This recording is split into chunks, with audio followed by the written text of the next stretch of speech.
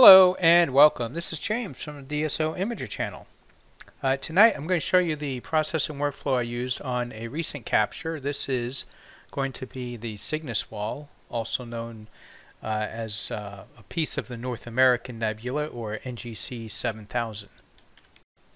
Now to capture this target I used my small refracting telescope, the 65 PHQ. That is a 65 millimeter uh, telescope with a focal length of 416 uh, millimeters and uh, f ratio of f6. For the camera, I use a ZWO ASI 533 MC Pro, and uh, the mount was a Celestron AVX. As far as the filter goes, I just use an Optolong luminance filter just for the UV uh, IR cut duties. And uh, total integration time on this is a little bit over 22 hours. So we have 448 subframes of 3 minutes each. Uh, the gain I had was gain 0.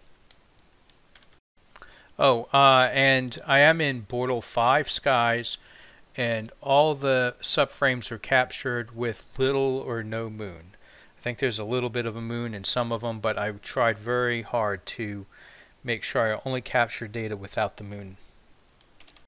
Alright, so let's start this. Uh, what you're seeing here is the uh, stacked, the final stacked. This is unprocessed. This is using uh, unlinked uh, STF stretch. Uh, now I did drizzle. This is 2x drizzle. Uh, here's a copy of it without the drizzle.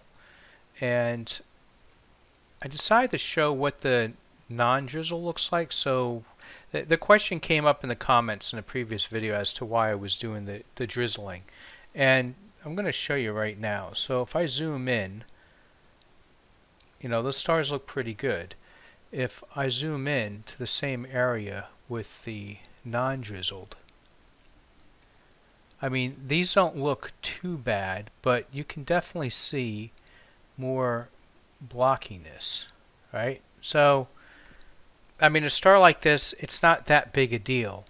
However, look at these smaller stars. See how blocky these are? If we go to where you have these tiny stars, it's uh, it's quite noticeable. And you're going to see it here in a few minutes, but when I use BlurXTerminator, I mean, these stars get reduced down to just a couple of pixels. And so uh, that's why I decided to go with uh, data. It had nothing to do with the detail, although I guess if we take a quick look here, we can maybe see.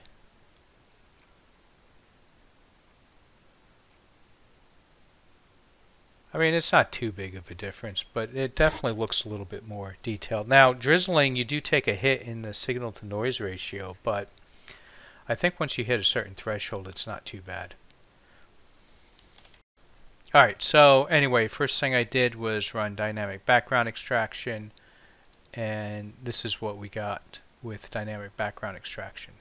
Now, next I got into uh, the color calibration, and I tried it a couple of different ways, and um, well, you'll see. So I did use SPCC for this version, and again, this is an unlinked auto stretch.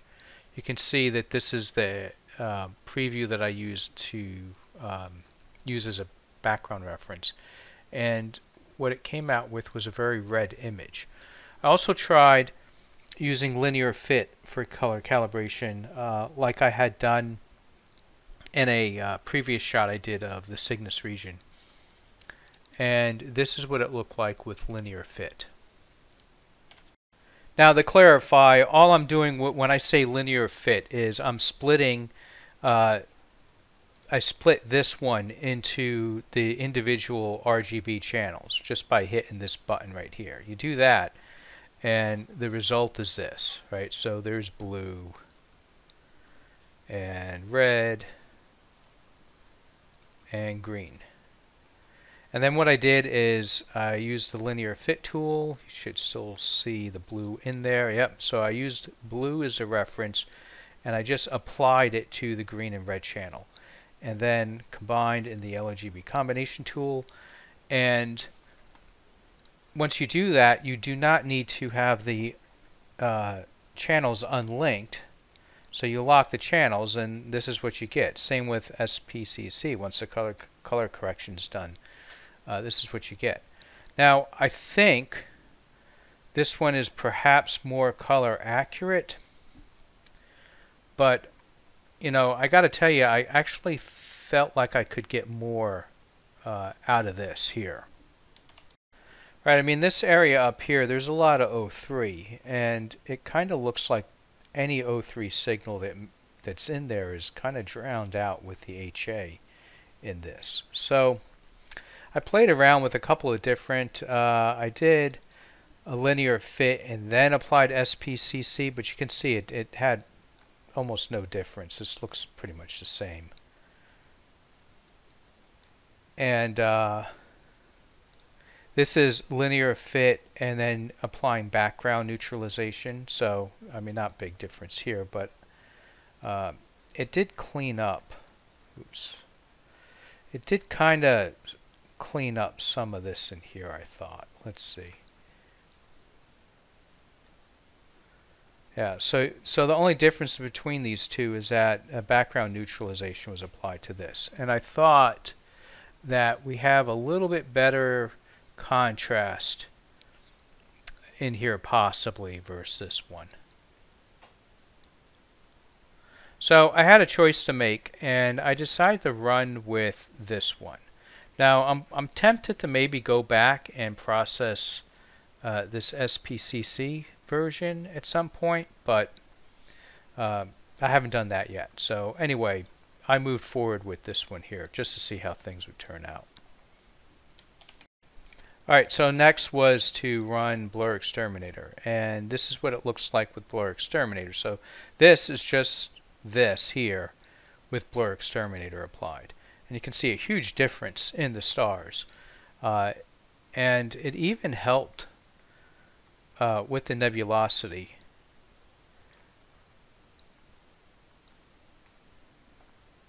Yeah, I mean, it definitely looks a little bit wispier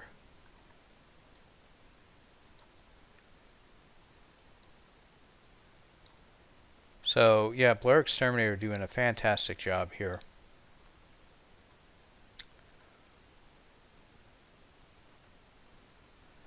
And just to compare, uh, this is the non-drizzled with BlurXTerminator applied. I just wanted to sh show, you see what these stars look like here? These really little stars here? I mean, they're just, I mean, what do we got? 9 pixels? 6 pixels? I mean, if I could zoom in and count the pixels, then uh, you know it's just it's just not it's not good enough. You can see here how far I can zoom in, and even these smaller smallest stars, you know, they still look round. So that's the main reason I did the drizzle. I mean, does it does it matter? Well, it matters to me because I'm going to be uh, pixel peepings. so anyway. Alright, so after BlurXTerminator, we remove the stars. And uh, yeah, there we go.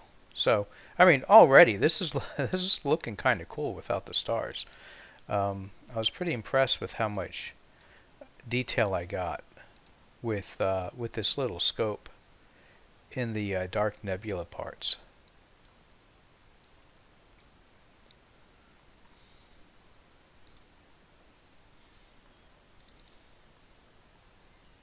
All right, and this is after doing uh, some stretching.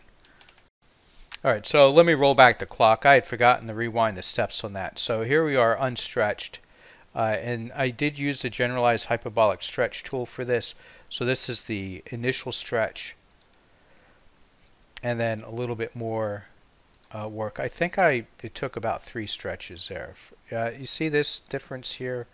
Uh, this is where I'm using the... Um, protecting the highlights uh, slider bar and increasing the um, um, uh, what is it? Pull it up. Uh, the local intensity, right?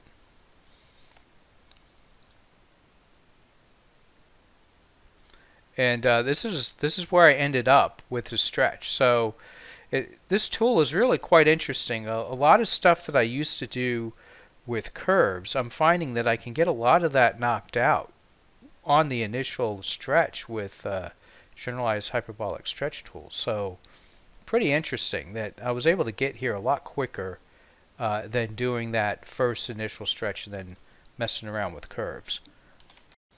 And in fact, what I did uh, it, when I got to this point after the initial stretch, I actually went straight into Photoshop and did a little bit of um, tweaking with the uh, camera raw, uh, raw filter.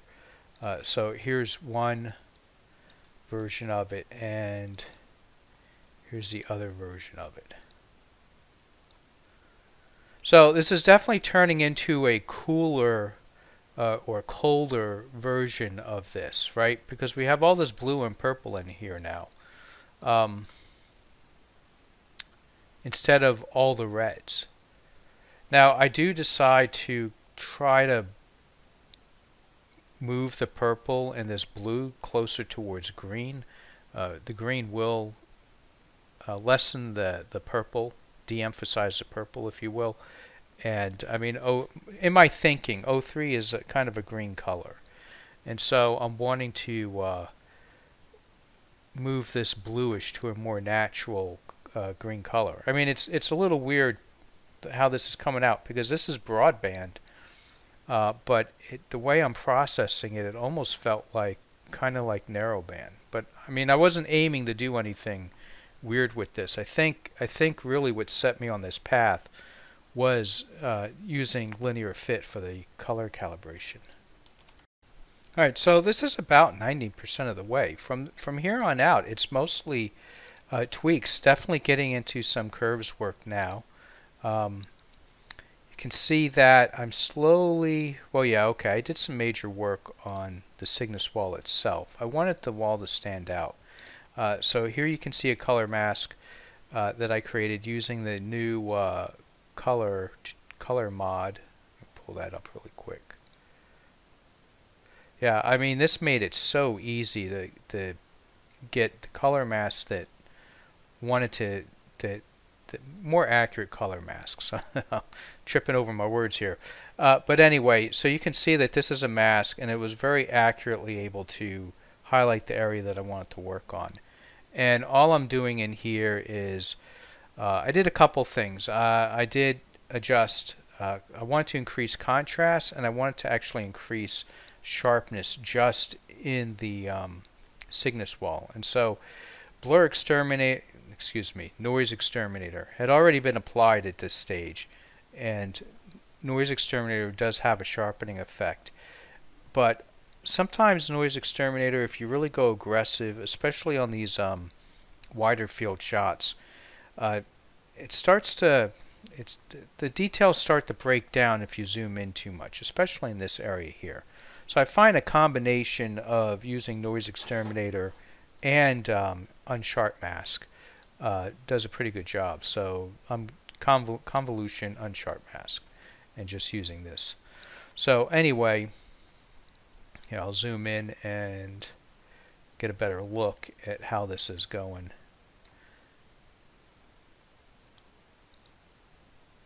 Yeah, you can see more curves work and this is where I ended up.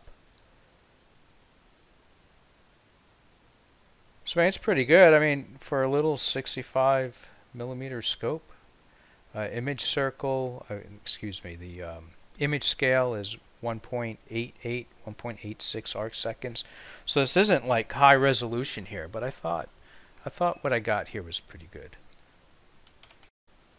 Now, I did have some stuff to work on. I mean, I, this was pretty close to where I wanted to be, but uh, after I had done an initial adding the stars, right, so this is one of the first shots, I noticed that I had a problem here.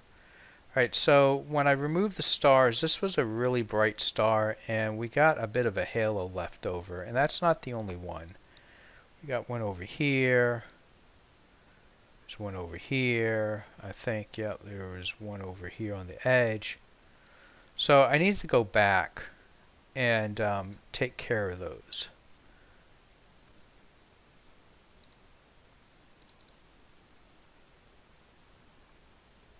And I think it was with this one. No, actually what you're seeing is little tweaks.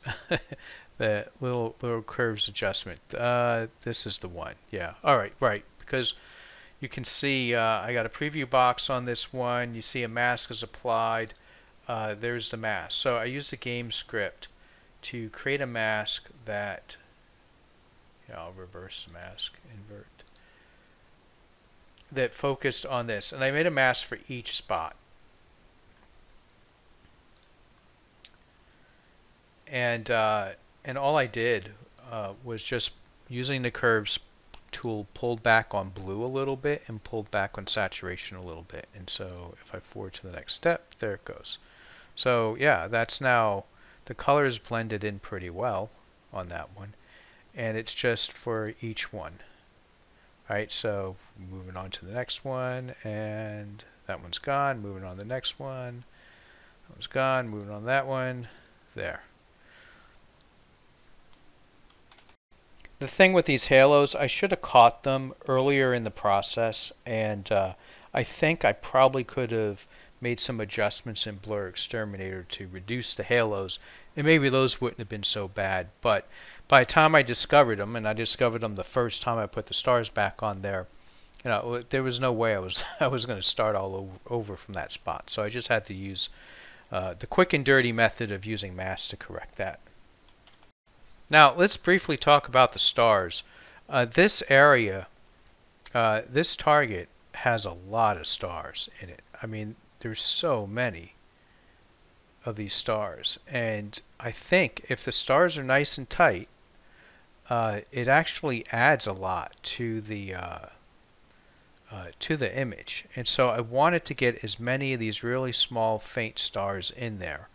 Uh, the challenge, of course, is that these big stars uh, will get too big if you stretch your star image all the way to pull out the little stars. And so there was some give and take. I used masks uh, to kind of limit how much these big stars were stretching. And I think this is what I ended up with here. So you can see the big stars are under control and we got all these gold all these red and gold stars, yellow stars that are in the upper part of the North American nebula. Uh, I did remove some green from the stars, not all of it, uh, and I also uh, boosted saturation on the stars quite a bit.